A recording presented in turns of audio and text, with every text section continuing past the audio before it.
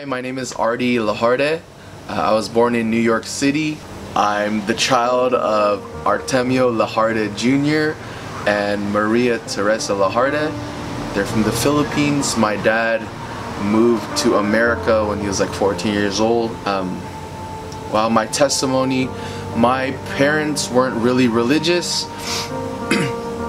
my dad wasn't religious. My mom grew up in the Catholic Church but at that point she did all sorts of religions. She was into Eastern religions, uh, Wicca, but she wasn't really a religious person. Uh, however, my grandmother was religious and she would go to church.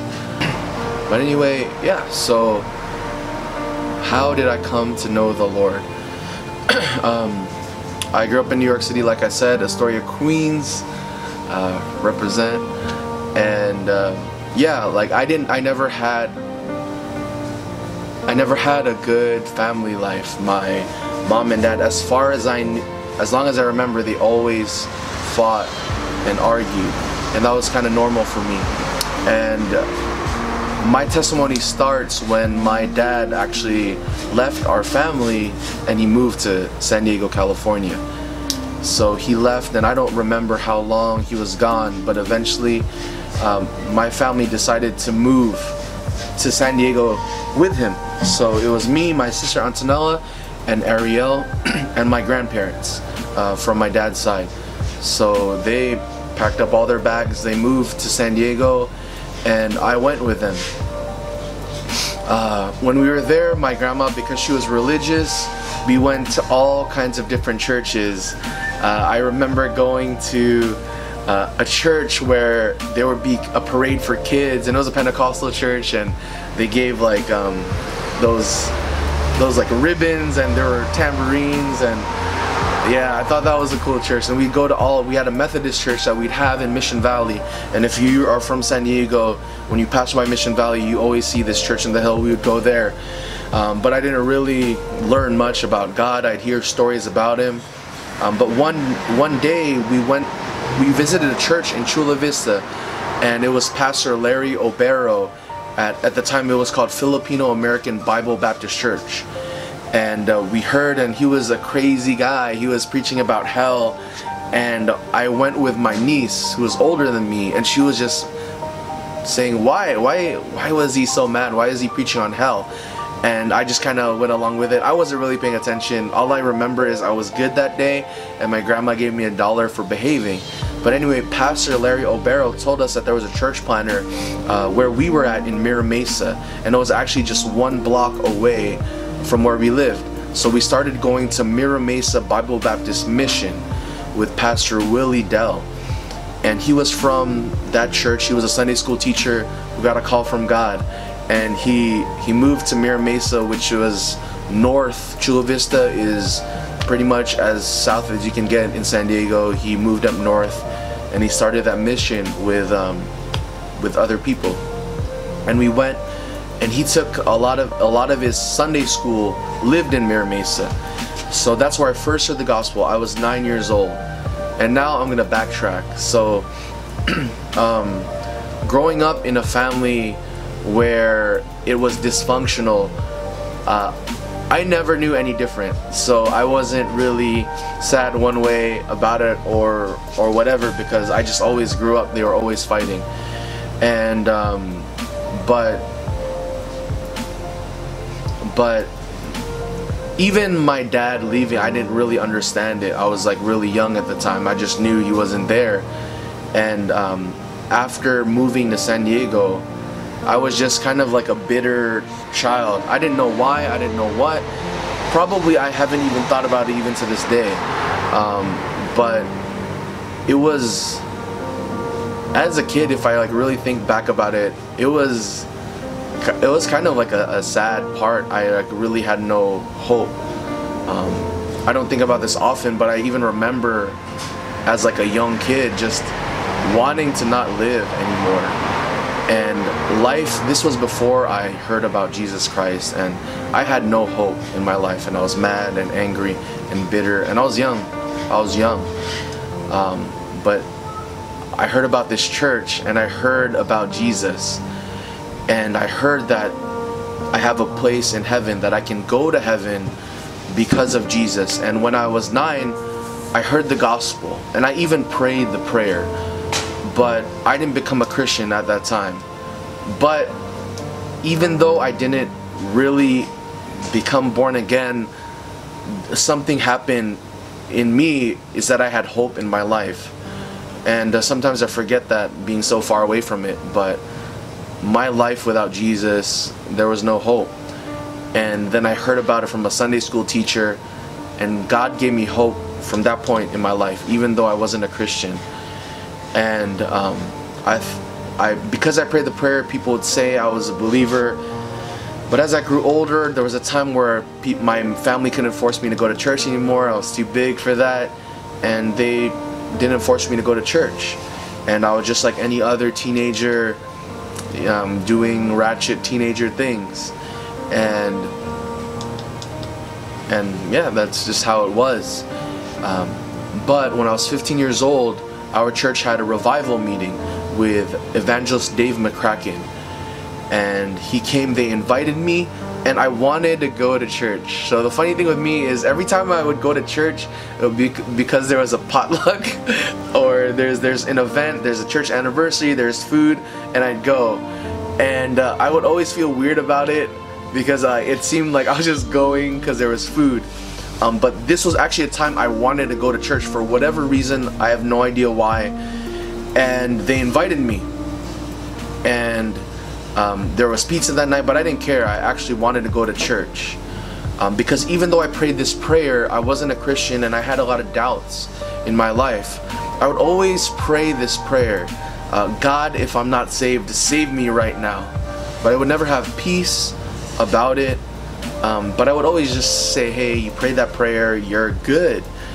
Um, but I went to, I went to church um, when I was 15. I don't know, exactly remember when, it was probably January. And I heard the gospel and I was thinking about eternal things. but that day ended and stopped going to church. Uh, I lived my life. I continued doing what I always did, uh, living life with my friends and um, God saved me from a lot of things, but I just wasn't a Christian. And then the next year, I wanted to go to church again. For what reason? Who knows? Um, but I wanted to go, and it was it was this revival week again. And this was January of 2004, and uh, I, I went. And uh, Dave McCracken again was preaching, and he gave a testimony of Pastor Larry Obero's wife, um, Tita Mirna, and she got saved the week before and she was someone who was in the ministry for I don't know 20 plus years. And she fooled herself into thinking she was a Christian. And the Holy Spirit really began to work in me because here was a lady who on the outside looked like a good person but she was an unbeliever at heart. And God convicted me because if she could fool herself I thought, why do I think I'm a Christian? Because I don't even look good on the outside. And the Lord showed me that I don't look like any Christian that I knew. Um, I was like the worst guy in my group. But for some reason, I thought I was a Christian because I prayed a prayer. And I went up to my sister, Antonella, that night, and she it was in the kitchen, and she was cooking our classic meal, cut up hot dogs, she was frying in the saute pan with ketchup and sriracha. And I, I, I said, Antonella, I don't I don't think I'm saved. And she was like, Oh no no no, you're you're you're saved. But the Holy Spirit was convicting me and I went to my grandma's room and this is the prayer I prayed. Uh, God, I'm going to hell, save me. And that's when I was born again. Uh, so I talked to Antonella and she was like, hey, what you need is you need to get reassurance. Uh, this was January 11th when I accepted Christ. January 12th, my sister went with me to get assurance. And uh, we both talked and I prayed again with a pastor, but for some reason, um, I just felt I, it, I just felt like it was another prayer. But my sister uh, accepted Jesus Christ as her personal savior that day. And uh, that's when I was born again um, January 11, 2004. My sister got saved January 12, 2004. and um, it was because there was a just a regular guy who worked for the police department in the CSI department who was a faithful Sunday school teacher who God called and he followed that call and he was still in the police department but but he planted that church and that's why uh, I'm a believer today um, but my journey didn't start there there was someone really important in my life and we would call him brother Ed and brother Ed at that time he was 28 29 years old uh, from the Philippines uh, but moved to San Diego and uh, he just invested in me. Uh, he he gave his life for for for me and and, the and and the the youth in Mira Mesa. and uh, a couple times a week, he would drive all the way from National City to Mira Mesa, which is like a 30 minute drive.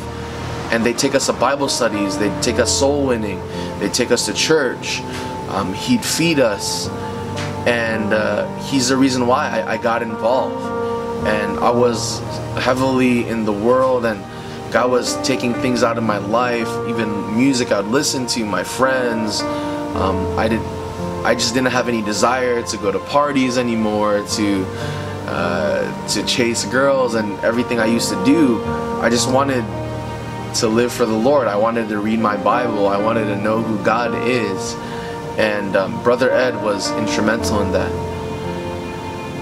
And uh, we decided that summer, I think it was that summer, it was the summer of 2005, where we went to youth conference at North Valley Baptist Church.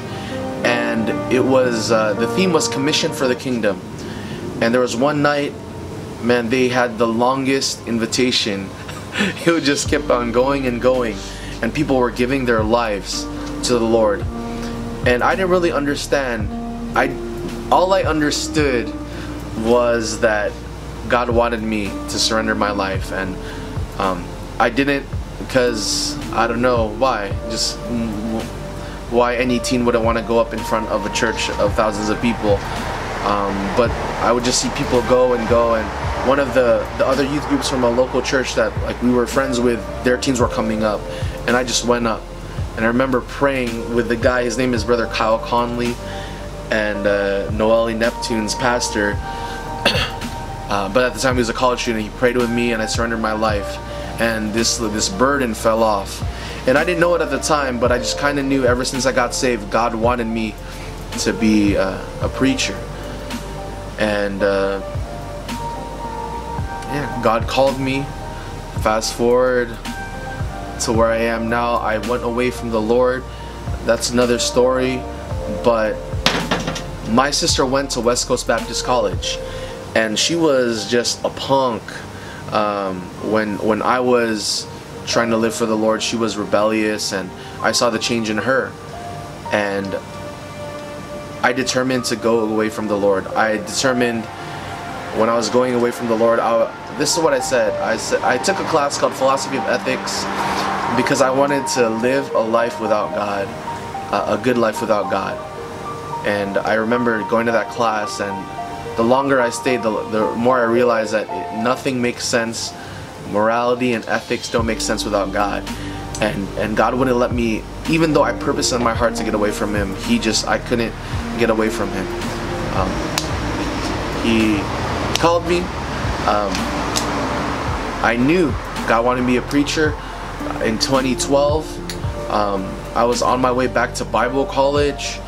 Uh, that's where all my, that's where God guided me. And this is my testimony there. Um, getting away from the Lord, I picked up so many bad things, so many sins from, from the world. And that was like the process of God teaching me to become a man again, teaching, teaching me to be uh, someone that could be fit for his service. And God did so many amazing things in my life at West Coast Baptist College. Um, I got to see my sister graduate her super senior year.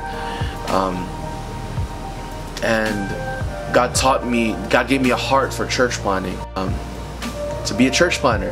And I wanted to do what Paul did. And God gave men like Pastor Brian Sams, who taught me how to love the Word of God and to be faithful to the Word of God and to preach the Word of God. Um, God gave me people like Dr. Shetler who, who taught me to love the Word and Dr. Goetsch who, who, taught, who taught me how to preach and how to love truth and Pastor Chappell how to, to live for the ministry. And God shaped me and um, fast forward, here I am in Israel, summer 2018, graduated Bible college. Uh, don't know what exactly God has for me yet, but um, I'm excited and that's my testimony.